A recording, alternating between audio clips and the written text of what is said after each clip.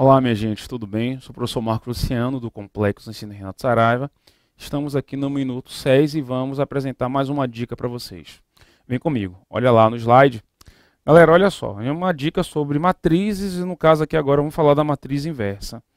Qual é a definição de matriz inversa? É aquela matriz que multiplicada, uma matriz multiplicada pela inversa, ou a inversa multiplicada pela matriz, vai gerar a matriz identidade.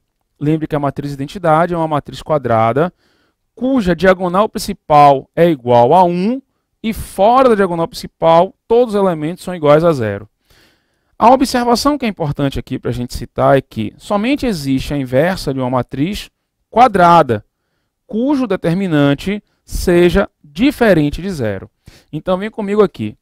Se em algum momento alguma prova lhe solicitar calcule a matriz inversa, essa matriz ela tem que ser, em primeiro lugar, o que, gente? Quadrada.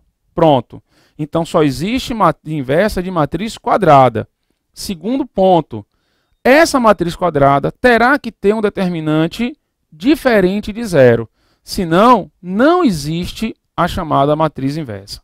E vamos lá, Marcos. E se a matriz for quadrada e o determinante for igual a zero, ela recebe o nome de matriz singular.